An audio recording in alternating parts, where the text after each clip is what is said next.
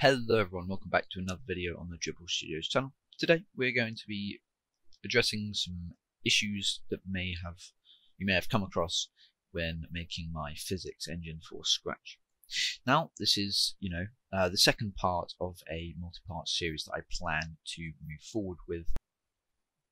So the first issue you may have noticed is that if we disconnect this and set it up to, uh, I don't know, let's say y of 100, it will go higher than uh, 100 on the y axis.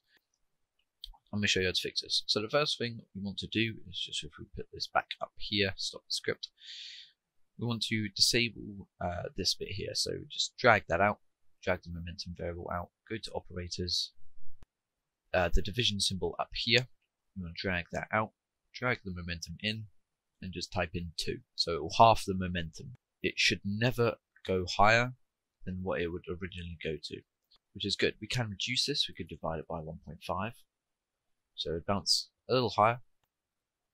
Uh, if we divide it by 1, it would just be the exact same as it was before, and it would make no difference. If you did 1.1, there would be a minor difference, so you get the point. I'm just going to keep it on 2 to half the momentum. So, that is the first issue. So continuing on, uh, what we need to do here is go to choose a sprite. I'm going to paint the sprite. So what we want to do is I'm going to rename the sprite. I'm going to call it uh, B underscore edge. Um, edge. The B just standing for bottom.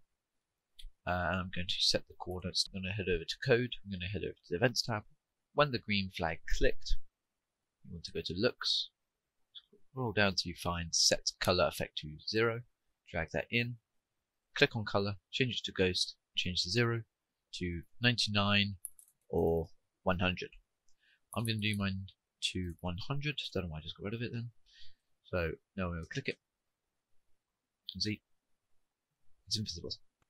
Now we want to go back to the ball, and instead of if touching edge, if touching B underscore edge, we head back to the edge, go to motion, and I'm just going to set to that thing there so it can't be moved. There we go. That is how you do that. So now it will bounce there. It won't bounce on the left side, the right side, or the top. So if you did enjoy, please do leave a like and subscribe and stay tuned for the next episode coming on for our physics engine on Scratch. See you in the next one. Goodbye.